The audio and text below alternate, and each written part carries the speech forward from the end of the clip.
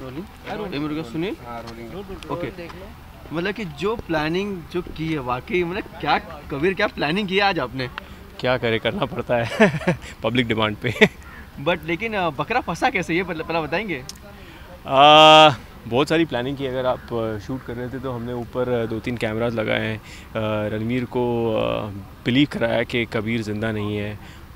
तो काफ़ी सारी प्लानिंग की है। And then this is the climax enjoying मज़ा भी आ रहा है लग भी रहा है आपने देखा होगा चोट लग गई पैर पे। फाइटिंग सीन्स करने में कितना मतलब कितना अलग है रोज की चीज़ों से काफ़ी अलग है तो अ, बाहर है और शूट। बड़ा मज़ा आता है बिकॉज़ uh, बड़ा मज़ा आता है क्योंकि it's very interesting action is very different ball game then regular because अगर आप uh, uh, हमारा शो देखेंगे तो it's drama so lot of dialogues and scenes going on but action कभी कभी आता है so we all enjoy action okay Ranveer के गन पॉइंट पर कबीर है। क्या कहेंगे क्या होने वाला है? काफ़ी इंटरेस्टिंग सा सीक्वेंस नज़र आ रहा है। वो तो आप देखेंगे तेईस तारीख को तब पता चलेगा। बट आई प्रॉमिस यू बहुत ही मज़ा आएगा बहुत मज़ा आएगा because the climax is full of twist and turns and it's it's it's gonna be really interesting but कहीं ना कहीं आंचल का क्या होगा? हाँ आंचल का क्या होगा?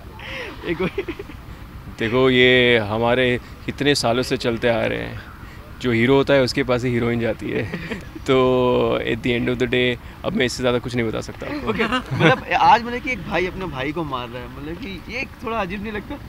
वही तो वही तो हाई पॉइंट है कि एक भाई भाई को मार रहा है मतलब ऐसी नौबत आ गई कि भाई भाई की दुश्मनी हो गई एक लड़की की वजह से। तो महा कहते हैं ना महाभारत भी एक लड़की की वजह से हुई थी आज मैंने वो मैंने वही कहा ना इतने सालों से आज चला आ रहा है तो ये वही है। Thank you so much. Thank you, thank you, thank you.